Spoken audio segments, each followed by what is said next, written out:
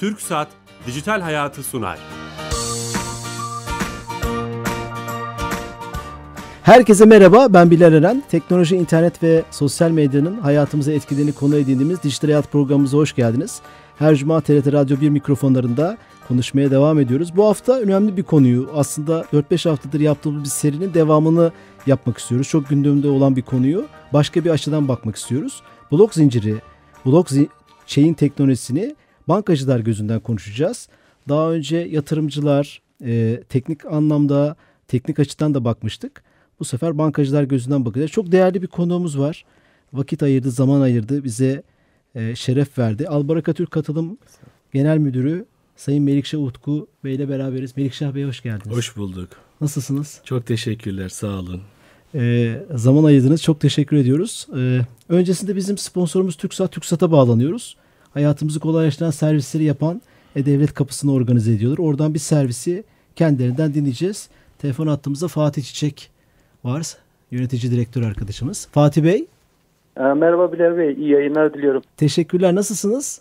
İyiyim. Sağ olun. Sizler nasılsınız? Sağ olun. Ee, bu hafta hangi servisi anlatacaksınız? Ya bu hafta e, çok kısa süre önce açtığımız alt üst soy bilgisi sorgulama hizmetimizden bahsetmek istiyorum. Ben de bunu soracaktım Gerçekten size. Çok iyi oldu. Çok ses getirdi. Vatandaşlar tarafından soy ağacı sorgulama olarak bilinen e, hizmetimizden bahsetmek istiyorum. E, hizmet açılalı çok kısa bir süre olmasına rağmen 8 milyondan fazla sorgunun yapıldığı bir hizmet. E, vatandaşlarımız meyveyden e, alınan servisle on, o verilerle alt üst soylarını 1800 yılların başlarına kadar görebiliyorlar. Süper. Ee, burada e, bu hizmeti diğer hizmetlerden ayıran bir özellik var. Biraz da yoğunluğun sebebi kullanım sıklığının vatandaşlarımız tarafından talep edilmesi sebebi de bundan önceki açmış olduğumuz hizmetler bir şekilde vatandaşlarımızın bir grubuna hitap ediyordu. Ya öğrenciye e, ya çalışan hayatına ya da sektörün bir kısmına. Ama bu hizmet tüm Türkiye'ye, e, tüm vatandaşlara ve 36 milyondan fazla kullanıcının hepsine hitap ediyor. O noktada biraz özel bir hizmet, özellikli bir hizmet. Vatandaşlarımız tarafından da e, çok karşılık gördü, çok gündem oldu. Bundan da mutluyuz. E, ve e, problemsiz bir şekilde inşallah hizmet vermeye de devam edeceğiz. Son gördüğüm habere göre 5 kişiden bir kişi soyacını talep etmiş sizden. Bu müthiş bir rakam. Yani herkes Doğru, merak doğru. etmiş. Çok faydalı oldu bence. E, vatandaşlarımızın tarafından bir karşılık bulması ve onların e, bir veriye ulaşmasına yardımcı olursak ne mutlu bize. Süper. Elinize sağlık. Tüm ekibe selamlar. Başüstüne iyi yayınlar diliyorum. Sağ olun. Teşekkürler. Evet TürkSat'a da bağlandık. Soy ağacı konuştuk. Bilmiyorum hiç e, sizin de kullanma şansınız veya e, Bir ara kapanmıştı diye duydum. Açıldığını Evet, duyar açıldı. duymaz dün akşam aslında başvurdum. Az önce de gelirken mesaj gelmiş E-Devlet'ten bakabilirsiniz diye. Dönünce ilk iş bakacağım. Bakın merak ediyoruz. Güzel bir hizmet. TürkSat güzel çalışıyor. Ee, güzel hizmetler sunuyor. Yeni açan dinleyicilerimizin tekrar edeceğim. Çok değerli bir konum var. Albaraka Türk Katılım Bankası Genel Müdürü Sayın Melikşah Utku. Kendisiyle bankacılar gözünden Türkçe tabirle blok zinciri teknolojisini konuşacağız. Blockchain diye hayatımıza girdi ama Türkçesine de dikkat etmek lazım. Ee, şöyle başlayalım mı? Biz bu konuyu birkaç açıdan baktık ama e, hiç bir bankacı gözünden bakmamıştık. Bir ekonomi, ekonomist, e, e, parayla e, ilgili bir e, uzmanın gözünden. Bu bir devrim mi? Hani bütün o bildiğimiz her şeyi değiştirecek mi bu blockchain teknolojisi? Çünkü öyle anlatılıyor özellikle bu işin sevdalıları tarafından. Şimdi tarihe baktığımız zaman bütün teknolojilerin aslında potansiyel olarak bir devrim potansiyeli var içinde. Bunun ger- hayata dönüşmesi, gerçekten hayat, hayatımızı değiştirmesi, iş yapış tarzımızı ve her teknoloji aslında yeni teknolojiler, yeni iş yapış tarzlarını da gerektiriyor. Şartlarla alakalı olmuş. Belli bazı ülkelerde e, gelişmeler olmuş, belli bazı ülkelerde belli bazı şartlar olunca olmamış. Söz gelimi fax. Mesela fax 1960'lardan beri bilinen bir teknoloji aslında. Ama ne zaman hayatımıza gerçek anlamda girdi? İşte 80'lerden sonra. Uluslararası ticaretin e, arttığı, e, ihracat, model ihracat e, tetikleyen ihracatın öncü olduğu iktisat modellerinin hayata geçtiği bir çağda oldu fax e, ön plana çıktı. E, o bakımdan teknolojinin hangi zamanda hangi şartlarda ve kimler tarafından desteklendiğinin önemi var. Blockchain gerçekten veya blok zincir Türkçe dediğiniz gibi kullanmamız lazım. e, bir potansiyeli, ciddi bir potansiyel taşıyan bir teknoloji. E, tarih boyunca insanoğlu toplum içerisinde bir varlığın başka bir var, e, bir varlığın bir kişiden başka bir kişiye geçmesi durumunu çeşitli kurumlarla, çeşitli süreçlerle tefsik etmeye, ispat, ispat edilebilir hale getirmeye çalışmış. Noterler var, e, bankalar var. Yani bildiğimiz aracı kurumlar, bildiğimiz şahitler, var. şahitler bildiğimiz mahkemeler, bildiğimiz birçok kurum, birçok süreç aslında ağ varlığının bir kişiden bir kişiye geçtiğini, nasıl geçtiğini ispat edilebilir olduğunu, bütün sözleşmeler bunun üzerine kurulu. E, blok blok zincir e, mekanizması da teknolojisi de bir yerde e, buraya bir alternatif getiren bir teknoloji. Ama alternatif getirmiş olması, getiriyor olması bunun her zaman hayata geçebileceği anlamına gelmiyor.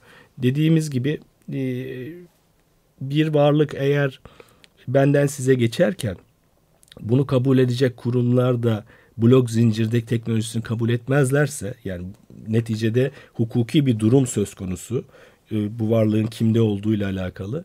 E, bunu da kabul edecek olanlar neticede resmi kurumlar olacaktır büyük ölçüde. Tabii ki özel şirketler, özel kurumlarda bir malın e, neticede satılıp satılmadığını veya geri alınıp alınmadığıyla alakalı bir yığın e, süreç işleteceklerdir. Bu anlamda kullanabilir ama her halükarda her şeyi nihai kertede hukuki düzeneye bağlı olduğu için burada uluslararası hukuk sistemi ve yerel hukuk sistemlerinin ne diyeceği çok ön plana e, geçiyor. E, bu dönemde de ayrı teknolojiler devreye girebilir. Eski kurumların hayatiyetini devam ettiren teknolojiler de ortaya çıkabilir. Doğru. O bakımdan blok zincir atlanabilir bir teknoloji de olabilir. Ama potansiyel olarak ciddi anlamda bütün aracı kurumları yani bankalar, mahkemeler, noterler hatta birçok devlet kurumu ve sürecini ortadan kaldırabilecek e, e, bir mekanizma sunuyor. Tam da bunu soracaktım. Hani bu, bu teknolojiyi savunanlar şöyle savunanlardan ziyade devrim olduğunu kabul edenler hiçbir aracı olmayacak ne devlet ne noter e, ne banka gibi bir söylem içindeler. E, teknoloji de bunu besliyor argümanlarıyla. Ama e, o zaman bir önce söylediğimiz şey boşa çıkmıyor mu? Hani böyle bir aracı sistem olmayacaksa e, hukuk nasıl mücadele edecek veya hukuk neresinde olacak bu işin? Resmi kurumlar neresinde olacak? İki kişi bu konuda e, kendi arasında bu teknolojiyi kullanıyorsa, onlar kabul ediyorlarsa burada bir karmaşa var sanırım. Evet. Şimdi maalesef e, herhangi bir transaction'ın veya herhangi bir işlemin yani bir varlık burada varlık derken para olabilir bu mal olabilir bir hizmet olabilir e, bir borç alacak ilişkisi olabilir fikri bir mülkiyet olabilir. Sözleşme diyorlar. Sözleşmeler olabilir. İki kişi arasında olması telif diyorlar, doğrudur sana. telif işte. Bütün her şey her şey. varlık. Yani düşünebileceğiniz her şeyi varlık kategorisine sokabilirsiniz. Bir kişiden bir kişiye geçmesi belli şartlar dahilinde e, esasında teorik olarak bu model üzerine kuruluyor. Bunu tefsik etme mekanizması e, noter olabilir, sözleşme olabilir, imzalar olabilir, çeşitli mekanizmalar olabilir. Dediğim gibi tarih bütün kurumlarımız bunların üzerine kurulmuş durumda. Ee, eğer sadece iki kişiden ibaret olsaydı e, arbitraj dediğimiz iki kişinin kendi arasında anlaşma mekanizması e, her zaman mümkün olabilirdi. Ama maalesef birçok hukuki e, ihtilaf konusu aslında sadece iki taraftan iki çoklu taraftan bir, çoklu bir şey, tamam. ziyade çoklu kişileri e, şey yapıyor. Her türlü bir kez her türlü e, işlemin, her türlü mal akışının genellikle bir vergi boyutu oluyor. Mesela devlet de ondan bir pay istiyor. E, keza bugün farkında olmasak bile birçok e, e gene transaction bir işlem e, toplumun genelini ilgilendirebiliyor. Çevreyi etkiliyor olduğu için, toplum sağlığını etkiliyor olduğu için veya pozitif veya negatif dışsallıklar olduğu için birçok kesimi de etkileyebilir. Öyle olunca iki kişi arasındaki mutabakat maalesef yetmiyor. Ayrı kurumlara ihtiyaç var. Dediğim gibi bunları da gene blok zincir teknolojisi karşılayabilir. Ama toplumun genelinin kabulüyle ve devletin de işin içerisinde olmasıyla olabilecek bir durum bu. Siz daha çok buna aslında sosyolojik bir yaklaşım getirdiniz. Yani e, teknik olarak mümkün hatta inandığınızı da gördüm. Ama bütün toplumun bunu kabul etmesi veya tarafların bunu kabul etmesi gerekecek. Yani bu değerin bir alıcısı olması lazım. Doğrudur. Öyle anladım. Ger- gerçekten baktığınızda e, ister iktisadi olarak piyasalara bakın, borsalara bakın, hisse senetlerine bakın, ister teknoloji olsun, fax örneğini verdim, cep telefonları örneğini verdim. E, Birçok teknoloji için geçerli. İster davranışlar veya kültür olsun, işte rap müziğinden tutun, klasik müziğe kadar. Bunların hepsinin uzun vadeli sürdürülebilirliği toplumun genel kabulüyle alakalı bir şey. Ee, İnsan e, insanlık tarihinde her şeyin odağında iktisat olsun, devlet olsun, siyaset olsun insan var. İnsanı ihmal ettiğimiz zaman sadece olayın teknik boyutuyla, parasal boyutuyla, siyasi boyutuyla düşündüğümüz zaman genelde duvara tas, tosluyoruz. Yanlış çıkarımlarda bulunabiliyoruz. Hayat öyle hemen e, öyle gitmiyor. İnsanoğlu çok enteresan e, e, noktalara taşıyabiliyor e, beklentilerimizi. Eğer e, gerçekten olay sadece modellemeyle, teknik analizlerle, e, iktisadi analizlerle olsaydı herhalde bütün fütüristler haklı çıkardı. Bütün Doğru. gelecekle alakalı bu, bu şeyden alanınıza gireceğim ama bir örnekle e, bir e, e, sohbette bir konuşmada duymuştum. Bankamatikler çıkacağı zaman işte ilk bu çok büyük bir devrim. Bankaların kapanacağı üzerine bir şey dinlemiştim. Halbuki bankamatiklerden sonra da bankalar açılmaya devam etmiş. Yani bir kesim oraya hala kullanmaya devam etmiş. İnternet aynı şekilde. Mobil bankacılık belki aynı şekilde. Herhalde yani blockchain teknolojisi gelse bile gene hani bankalar olacak. Öyle diyebilir miyiz? Evet, aynı şey medya için de söz konusuydu. İnternet çıkınca e, Radyolar kapanacak. radyolar kapanacak. İşte bir radyoda konuşuyoruz. E, internet versiyonları çıktı radyoların. E, kapanabilir de hala o tehdit ortadan kalkmış değil. Bu bankalar için de geçerli. Steve Jobs'un güzel bir lafı var. Bankacılık hizmeti her zaman ihtiyacımız olan bir hizmettir ama bankalara ihtiyacımız yok diyordu. Gerçekten de bankacılık neticede e, tasarrufları belli bir potada toplayıp ondan sonra kredi, kredi olarak kullandıran bir aracı mekanizma. Klasik iktisatta da çok tartışılmış ne gerek var diye. Serbest piyasada buna gerek yok diye. Ama asimetrik bilgiden dolayı ve belli bazı hizmetlerin ölçek olduğu zaman anlamlı. Mesela hukuk hizmetleri, takip hizmetleri herkes ödemeyecek. E, bunları bireysel olarak takip etmek kolay değil. E, o bakımdan bir aracı yapıya ihtiyaç olduğu Bankaların için bankalar böyle olmuş. öyle olmuş, çıkmışlar. E, bu ihtiyaç sürdüğü sürece bankalar devam edecektir. Bu ihtiyaç e, teknoloji sayesinde belli belli noktalarda ortadan kalkabilir.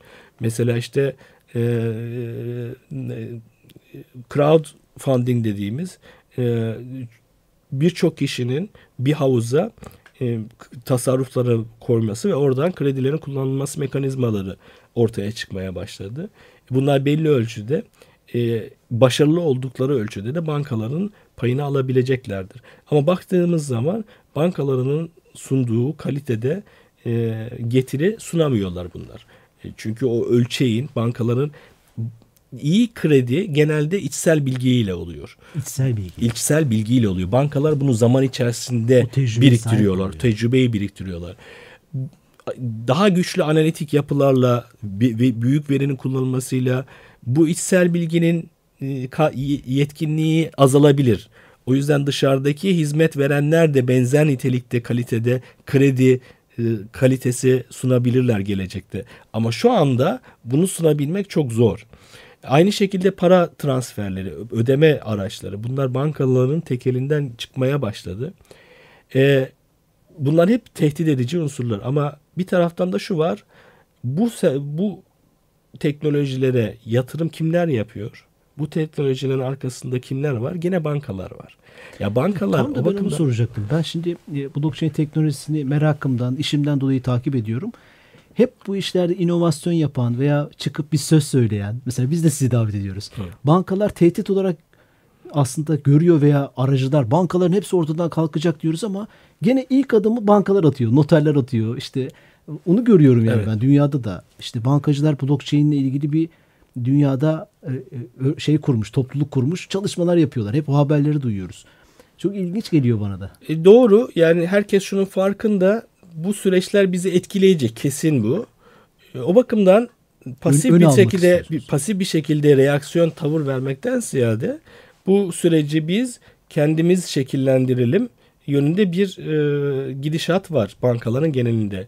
Gelecekle alakalı birçok banka modellemesi var. Yani gelecekte bankalar şöyle olacak veya bu hizmeti sunanlar böyle olacak vesaire. Bunlardan bir tanesi de platform bankacılığı. Yani bankalar bildiğimiz anlamda genel müdürlüğü, şubeleri olan herkesin e, her şeyin merkezde toplandığı, operasyonların merkezde toplandığı yapılardan ziyade çeşitli iş e, ortaklıklarıyla çok değişik platformlarla çalışan ve belli hizmetleri bünyelerinde barındıran Amazon vari yapılar olacak hmm, şeklinde e, e, öne yani fikirlerde var. Blockchain'de buna uygun aslında. Blockchain'de buna uygun bir yapı olarak ortaya çıkıyor.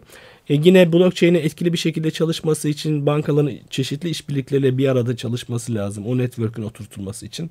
Çünkü e, yani blok zinciri teknolojisi aslında çokluğu dağıtık bir yapıyı e, gerektiriyor. E, bunun da oturması için e, en uygun yapılar gene bankalar. Çünkü muhabir ilişkileri var, şubeleri var vesaire. O bakımdan e, bizatihi teknolojinin oturması için mevcut bir zemin üzeri e, mevcut bir zemine, network zeminine ihtiyaç olduğu için bunu zaten bankalar otomatikman benimseyebilecek durumdalar. E, burada A- niyet bu işlere biz yatırım yaparsak süreci biz yönlendiririz ve hayatiyetimizi devam edire, ettirebiliriz Sistemi şeklinde. eviririz belki de bizim Doğrudur. Bu beklenti e, makul bir beklenti. Biz de o yönde hareket Albarak ediyoruz ama şey yapıyor mu? E, şunu söyleyeyim önce. Her zaman da başarı olmayacaktır. Biliyorsunuz dijital kameraları, filmleri Kodak çıkarttı ama Kodak neticede o süreç sonunda kendisi Doğru. yok oldu e, bazen e, bu Akıllı devrimleri telefon Nokia ama Nokia nerede? E, aynen öyle. O bakımdan hani bu süreçler e, doğrudur. E, bu işi sürükleyen olmak zorundasınız ama e, hiç öngörmediğiniz bir şekilde kendi sonunuzu da hazırlıyor olabilirsiniz. evet, e, biz de Albaraka olarak bir kez şuna inanıyoruz. Biz e, Albaraka e, bankası olarak e, bir kez çok niş bir yerde çalışıyoruz. Yani tipik ticari bir bankadan farklı olarak bir kendimizce bir misyonumuz var. Katılım bankacılığı esasına dayalı. E, bugün itibariyle tamamlayıcı, gelecekte de belki alternatif olacak yeni bir model üzerine e, faaliyet göster gösteriyoruz. Bugüne kadar bu faaliyeti biz klasik e, bankacılık modeli dahilinde yapmıştık. Şubelerimiz var, genel müdürlüğümüz var. Biz de mevduat toplamıyoruz, fon topluyoruz e, borçlanmıyoruz. O fonlara emaneten yönetiyoruz. Modelimiz farklı ama gene fiziki şubeleri olan, yapısı olan eski klasik model üzerine çalışıyordu. Biz her halükarda Steve Jobs'un dediği gibi katılım bankacılığın devam etmesi gerektiğini düşünüyoruz. Bunun üzerine çalışıyoruz. Yeni dijital e, platformlarda, teknolojilerde bu hizmetlerin gerektiğini, gerekeceğini düşünüyoruz ve onlara yatırım yapıyoruz. Bu çerçevede Albaraka olarak da gene o platform bankacılığına doğru evrilmemiz gerektiğini düşünüyoruz. Bu çerçevede hem fintechlerle yakın e, temas içerisindeyiz. Albaraka Garaj diye bir evet, kuluçka merkezi kurduk genel müdürlüğümüz içerisinde. O kadar güzel bir merkez oldu ki genel müdür yardımcılarımız bile biz orada çalışalım Harika. diyorlar. E, oralarda hem e, e, mekan olarak hizmet veriyoruz ya yani bu yeni kurulan şirketlerin en önemli şeyi düzgün bir mekan bulamıyorlar. Kira giderleri yüksek. Aynı zamanda e, profesyonel hizmetler ve danışmanlık da veriyoruz. E, banka olarak hizmetlerinden faydalanıyoruz veya bizi pilot olarak kullanmalarına imkan sağlıyoruz ki muazzam bir e, ölçek ve potansiyel zıplama e, basamağı oluşturuyor bu fintechler için. Kaç firma var hani? Şu anda 9 şirket var 9 şirket. dışarıdan. Bir de içeride kendimizin keşfet programı var. İçeride kendi müteşebbislerimizi geliştiriyoruz. Biz 8-9'da öyle içeriden müteşebbisimiz Çok var. yeni bir şey çünkü. Tabii. E, önümüzdeki dönemde de portföy yönetim şirketi kurduk. Orada da girişim sermayesi adı altında bir fon oluşturup bu startupları da bir de orada Bayağı girişimcilik dünyasına girmiş almak. Tabii yani zaten bizim katılım bankacılığının temel esası da biraz daha ortaklık yapılarıyla e, finansal kaldıraç oluşturmak. E, e, arzum bu bu alanda bizim e, daha fazla aktivite, faaliyet göstermemiz gerektiğini çalışma yapan var mı hiç? Ee, ne olacak mı? Destekleyecek misiniz? E, Buradan duyuralım yani. Şöyle e, yani bir kripto para üzerine gelmişti. e, kripto paralarla alakalı bizim şu, an itibariyle belli bazı endişelerimiz var. Yani para olma niteliğinden ziyade bunların henüz spekülatif bir varlık e, yatırım aracı olarak görüyoruz. Ve banka olarak desteklemek çok anlamlı gelmiyor herhangi bir parayı. Ama geri planda yatan blok e, zincir teknolojileriyle alakalı bizim kendi işimizde de e, e, şeyimiz var, e, çalışmamız var. İngiltere'deki bir konsorsiyuma bu çerçevede üye olan tek katılım bankasıyız. E, bu konularda mi? çalışmalar Bankalarda oluşan bir yapıya mı üyesiniz? Tabii doğru. Yani e, dediğim gibi dağıtık teknolojiler olduğu için bunlar ne kadar çok banka bu işe el atarsa o kadar etkili bir şekilde e, hayata geçebiliyor. Bunların en önemli örneklerinden bir tanesi Ripple mesela. Doğru. Ripple Swift'e alternatif bankaların ortaklığıyla gelişen bir mekanizma. Hem kripto para gibi duruyor ama aslında blok zincir. Blok zincir tarafı bankalar açısından önemli. Çünkü birçok uluslararası ticari e, dış ticaret işlemini ve para transferini bu yeni teknoloji sayesinde yapabilir hale geliyorsunuz. Bu çerçevede onlarla da görüşmeler yaptık geçmişte. Ee, da o gelişmeleri de e, o, o görüşmeleri de e, geliştiriyor ol- olacağız dönüyoruz. Süper. Yine bu çerçevede bir ödeme mekanizması e, kuran bir fintech'imiz var içeride. Onu da blok zincirle daha üst mertebelere çıkartmaya çalışıyoruz. Benim gördüğüm zaten e, blockchain ile ilgili ödeme sistemlerine yoğunlaşmış durumda. Doğrudur. Dünyadaki gelişmelerde, Türkiye'deki gelişmelerde siz de oraya yönelmişsiniz. En Ama kolay o. Uluslararası bir şeyin içinde olmaları çok önemli. Yani e, bir organizasyon içinde hem gelişmeleri takip etmek açısından. Benim merak ettiğim şey şu. Şimdi siz bankacılık alanında çalışıyorsunuz. Bu da bir teknoloji, mühendislik gerektiriyor. İşte e, e, inovasyon gerektiriyor. Siz bir şirket mi kuracaksınız bununla ilgili? Siz bir teknoloji şirketine mi dönüşeceksiniz? Partnerlik mi yapacaksınız? Bir de bunları takip etmek de zor yani. Biz ana işinizden ayrı bir şey çünkü. Onu nasıl becerecek bankacılar? Evet. Şimdi e, yazı hayatımızı bütün insanlık tarihini değiştirdi yazıya geçişle birlikte. Eskiden yazı yazan e, e, kişiler özel yetiştiriliyordu. İşte Mezopotamya, Babillere bakarsanız, Mısırlılara bakarsanız, hatta Orta Çağlarda kiliseye bakarsanız bir okuyan yazan olmadığı için. E, işin tabii bir parçası oldu sonra yaz, yazı yazmak. E, Bugün teknolojiyi konuşuyoruz. Teknoloji şirketi olmayı konuşuyoruz. Gerçekten de bütün şirketler teknoloji şirketi olacak gelecekte. Herkes dijitalleşecek ama herkes dijitalleştiği zaman, herkes teknoloji şirketi olduğu zaman teknoloji şirketi veya dijital demenin çok bir anlamı kalmayacak. Yazı ya bugün yazı yazmak ne kadar önemli ise o da öyle olacak. Teknoloji tek, e, O veya işin bir parçası olacak. yani. o- okur yazarlık, dijital okur yazarlık işin tabii bir parçası olacak. E, Bundan kaçış yok. E, O bakımdan şu an itibariyle e, yazılımcı, program yazabilen, tek, teknolojiden anlayan, dijitalden anlayan insan özel yetişiyor olsa da gelecekte nasıl aritmetik öğretiyoruz, trigonometri öğretiyoruz, işte güzel kompozisyon yazmayı öğretiyoruz, biyoloji öğretiyoruz okullarda, liselerde, ilkokullarda. E bunu da çok tabii bir şekilde yapıyor Bu olmak bir durumunda kalacağız. ilkokuldan itibaren. Verilmesi gereken temel bir yetkinlik olacak diye düşünüyorum ben. Belki de evet doğru. Ee, siz de bu konuda çalışmalar yapıyorsunuz. Peki müşteri portföyünüzle ilgili Albaraka Türkiye gelmiş veya gelmeyi düşünen blockchain ile ilgili ne öneriyorsunuz veya e, dijital bu kripto paralarla ilgili yatırım yapsınlar mı? Gerçi biraz önce onun cevaplarını verdiniz ama bankanın bu konuda müşteriyle olan ilişkisi size gelen talepler e, nasıl yöneteceksiniz veya bu konuda baskılar olacak mı? Evet. E tabii ki soruluyor. Ee, bizim e, her zaman söylediğimiz gibi yatırım tavsiyesi değildir diye baştan e, e, söyleyerek İhtiyatlı bir ihtiyatlı şey. bir şekilde durmak lazım. E, neticede e, e, bizim şu an itibariyle gördüğümüz ve duruş, duruşumuz e, Bitcoin e, ve benzeri kripto paralar e, an itibariyle para niteliği taşımıyorlar. Niçin taşımıyor? Paradan temel olarak beklentiniz şudur. Bir dönemden bir döneme değer aktarımı yapabilsin çok fazla e, değeri değişmeden. E, bu yüzden ki e, devletler enflasyonla mücadele ediliyor veya paranın değerini kaybolmaması veya aşırı değerlenmemesi için gayret gösteriyorlar. Mağdur olmaması için Yani insanlar. çünkü insanlar mağdur olmaması lazım. Siz düşünebiliyor musunuz bugün yani bir para olarak Bitcoin'le konut kredisi aldınız. ya mahvolurdunuz. Son bir iki ayda. Evet mahvolurdunuz. Tam tersi tasarruflarını Tam yaptıysanız. tersi de olabilir ama. İşte şu anda da son birkaç haftada da tersine bir süreç oldu. Şimdi o yüzden değerinin çok fazla değişmemesi lazım. Bu çerçevede para değiller ama yatırım aracı anla- olmadığı anlamına gelmiyor. Neticede değer kazanıyor, kaybediyor. O spekülatif amaçlı kullanılabilir. Ee, yani o bakımdan biz yapın ya da yapmayın tavsiyesinde bulunamayız. İnsanların risk iştahına göre e, e, ne kadar hızlı kaz, kazanıp kaybetme e, t- e, potansiyelleri olduğuna göre e, girebilirler, girmeyebilirler. Kişisel olarak var mı sizin böyle? Benim bir- yok. Onu da benim sormuş benim yok. Ben ben e, yani spekülasyon amaçlı yani yatırdığım paradan pa- para kazanacağım amaçlı e, şey yapmıyorum, yatırım yapmıyorum. Öyle bir şeyiniz var.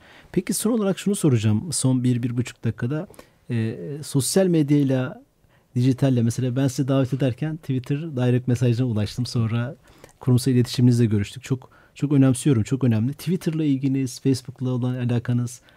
Bu, bu mesela bu e, programda anlattıklarınızı muhtemelen bizden birkaç adım önde görebiliyorsunuz gelişmeleri. Twitter'dan paylaşsanız veya işte sosyal medya araçlarından çok mu zor? E, şimdi e, tabii ben 90'lardan bu yana e, aslında dijital teknolojinin e, hayatımızı nasıl değiştirdiğiyle alakalı yani köşe yazıları yazdım, seminerler verdim.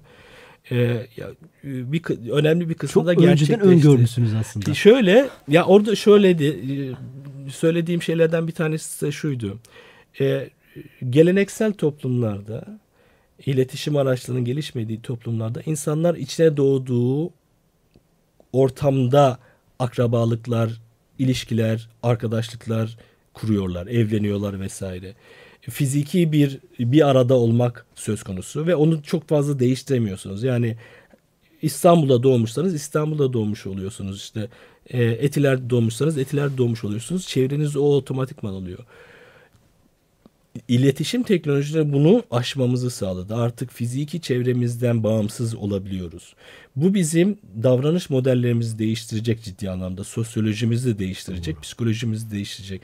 Artık fiziki çevremizle muhatap olmak zorunda kalmayacağız. O yüzden şu anda jenerasyon arası e, sıkıntılarımız var. Çocuklar işte yem, restoranta gidiyorlar herkes.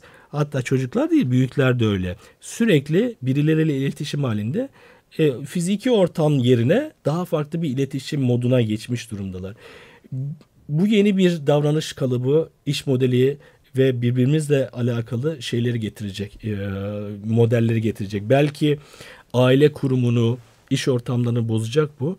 E, ben o geçişe kendim açımdan çok rahat e, sağlayamayacağım için şu anda fiziki çevremle daha yakın iletişim halindeyim. Evet. Ee, Çok keyifliydi sohbet Melikşah Bey. Albara Türk Katılım Bankası Genel Müdürü Melikşah Utku Bey ile beraberdik. Tekrar e, haftaya yeni konu ve konuklar, konuklarla beraber olacağız. İyi hafta sonları, hoşçakalın.